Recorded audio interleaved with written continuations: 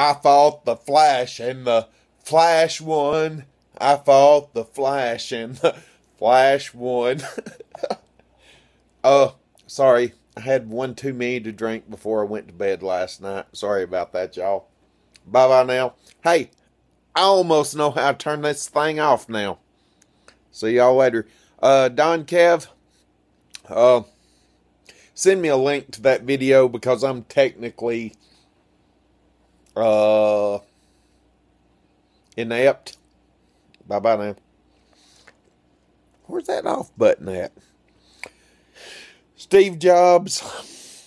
Why didn't you make an easier off button? Oh, there it is.